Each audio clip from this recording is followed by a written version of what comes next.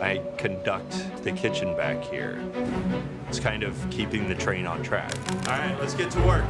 I have my other conductors getting the product to us. That much truffle. And a nice scoop of it. Union Station is over 100 years old. It's a historic train station, unlike any other hotel lobby I've ever walked into. Guests, when they're at the hotel and when they're eating in the restaurant, feel some of that history. And we try to still exude some of that history within what we're doing as well. People are always coming, going. I try to keep one of the constants present them with fantastic food while they're here.